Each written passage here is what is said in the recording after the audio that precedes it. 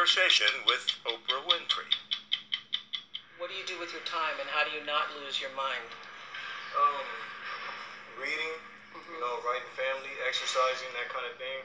I have always been drawn to and attracted to stories of people who are disenfranchised, who are what um, the biblical term refers to as the least of these. The least of these is who Oprah Winfrey went looking for in the solitary confinement cells of Pelican Bay State Prison. All right, guys, are we still shooting? The story was her idea, says 60 Minutes producer Rome Hartman. So Each pot has a yard.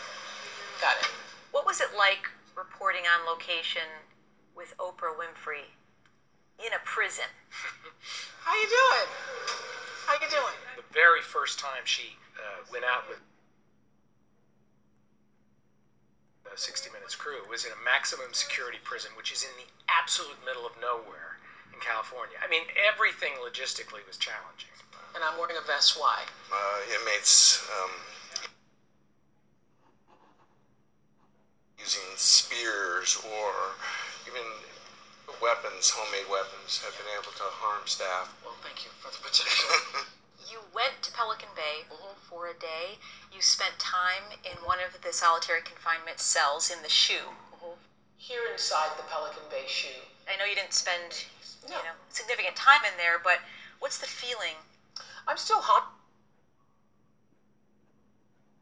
by that experience because I think for myself, the worst possible condition to live on the planet, it would be being held in a solitary confinement unit, unable to see grass or a tree or a leaf, sometimes years and even decades at a time in this room.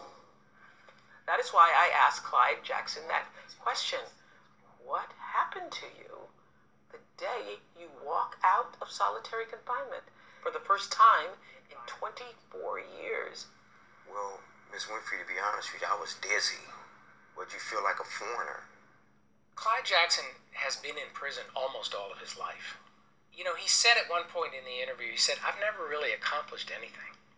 I've been in prison since I was 17 years old. I think about what you knew, what he knew at 17 years old. And more important, what he didn't know. The guidance he had or didn't have. What puts you in prison at 17 years old. Now you're 54 years old. 31 years you've gone and you haven't seen your mother. Is your mother still alive? Yes, she's still alive. You know, and uh, I think the hardest part about living today is, you know, the crimes I committed and my mother. The disappointment every time I see her in her eyes. I was very moved by him because it says to me that even the most hardened of criminals can feel, can and can be changed. So what will you be doing the rest of the day? I got to do some, some mentorship with some youth out there on the yard and stuff, right?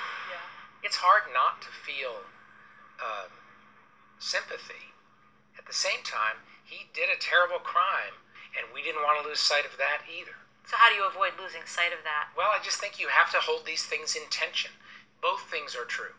He is a sympathetic figure to talk to, and he did a terrible thing. And you can't make him out to be a victim, and you can't make him out to be a hero.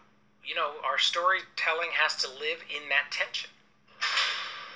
So an inmate would come out of his cell and go to this area, which is called the yard. Correct.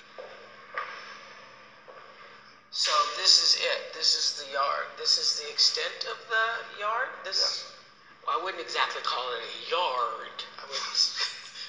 The worry with a story like this, of course, is that the viewer may be thinking he deserves everything Oh yeah, he got. And, and I am that viewer. So what are you doing in here to better your education so that you can be a better human being when you get out? I am that viewer who thinks, as you're sitting there telling me about all your troubles and how you don't have this and you don't have that and we can't have this, and I'm thinking, well, you took that away from somebody else. You took that away from somebody else who's not even here to tell us about it. So why should I care about you? I'm 52. the age of 52 years old and went to prison. Whoa, Yeah, domestic violence. whoa, Yeah. Wow. You. Yeah. So you didn't approach this story with this sort of bleeding heart. I don't have a bleeding heart about it. But the reason why I think you deserve to be heard is because one day you're going to come out. This is what people don't realize.